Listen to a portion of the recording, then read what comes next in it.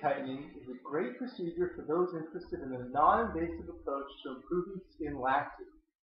The modalities are numerous, including laser or light-based devices, radio frequency, ultrasound, and cooling.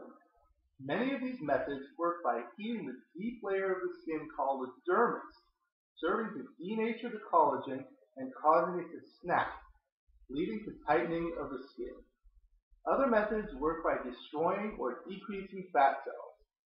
Either way, impressive results can be seen in areas such as the chin, neck, jawline, and cheeks. Multiple treatments are generally required and results improve over time. Combining such treatments with fillers, Botox, topical creams, chemical peels, and other laser treatments can lead to outstanding results.